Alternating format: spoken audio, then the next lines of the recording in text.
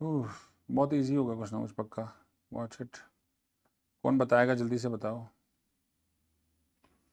Five ten four fifteen six अरे और ये थीटा है कि बुक में देना? क्वेश्चन में थीटा तो नहीं कहीं है। हाँ क्योंकि सैंपल दिया ना इसमें। तो एक्स वन फोर आंसर हो गया। थ्री कैसे आंसर अच्छा मैक्सिमम थ्री ये वैल्यू है। ऐसे कैसे? अच्छा थीटा की रेंज थ्री से आगे नहीं है। ओके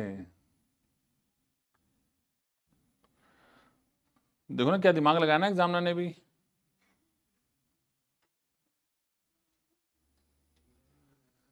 देखो बेटा रेंज पे डिपेंड करता है ना। तो x one is greater than equal to theta less than x two ऐसे करके आया। तो थीटा कैप आपका एक्स वन हो गया वैसे तो। लेकिन एक्स वन मतलब फोर होगी वैल्यू वैसे तो। लेकिन थीटा का जो इंटरवल दे रखा है, वो कह रहा है माइनस इन्फिनिटी से मैक्सिमम कितना होगा? तो थ्री ही हो सकता है। सारे फोर लिख के आ गए होंगे।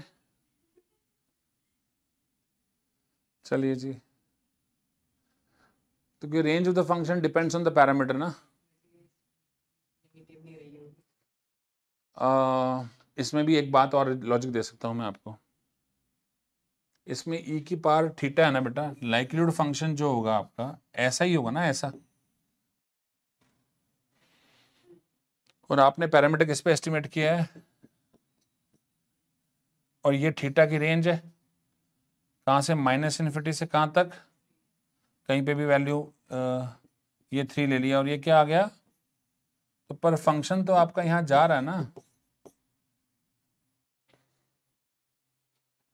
फ़ंक्शन मैक्सिमम थ्री पे भी तो बड़ा है।